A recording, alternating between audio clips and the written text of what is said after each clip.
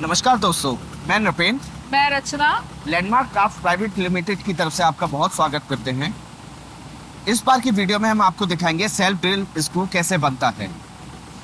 जैसा आप मेरे पीछे देख रहे हैं लोकल वेंडर से हमारा ड्रोन वायर उतर रहा है जो ड्रोन वायर हमारा सीधे फ़र्स्ट प्रोसेस के लिए आगे जाएगा। तो जैसा कि आपने देखा हमारा ड्रोन वायर आता है। इससे आगे का जो प्रोसेस होगा हमारा, वो मेरी सहयोगी रचना मैम आपको सारे प्रोसेस के साथ आपको ब्रीफ करेंगी। सबसे पहले वायर हमारे यहाँ ऐसे स्टैंड पे लगाई जाती है। जैसा कि आपने देखा वायर हमारे यहाँ ऐसे स्टैंड पे लगाई जाती है। उसके बाद ये हेडर मशीन है। हेडर मशीन से हमारा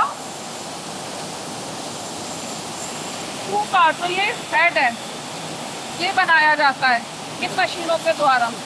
तो जैसा आपने देखा एडर का प्रोसेस मैम ने आपको बताया। एडर के प्रोसेस के बाद दूसरा प्रोसेस आता है। मैम दूसरा प्रोसेस के बाद आता है? हेड बनने के बाद का उसके बाद इन स्क्रूओं को पॉइंट मशीनों पे लाया जाता है जिसके माध्यम से स्क्रू का ये पॉइंट तैयार किया जाता है। अभी तक आपने जैसा कि देखा ड्रोन वायर हमने लिया। पहले प्रोसेस की तरफ़ गए, हम हेडर पर गए, जहाँ पे हमने हेड और पेन तैयार किया। फिर सेकंड प्रोसेस की तरफ़ गए हम, जिसमें हमने पॉइंट तैयार किया। थर्ड प्रोसेस हमारा रोलिंग का होता है, जिसमें हम फाइनल स्क्रू तैयार करेंगे। तो मैम बताइए थर्ड प्रोसेस के बारे में। स्क्रू का हेड और पॉइंट बनने के बाद, उसके बाद इसकी रोलिंग बनी जाती है। रोलिंग मतलब प्लेट बनाया जाता है। वो हमारा इन मशीनों के द्वारा बनाया जाता है।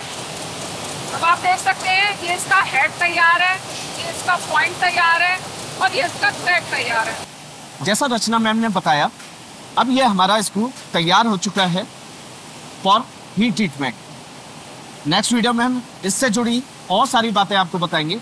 बहुत बहुत धन्यवाद।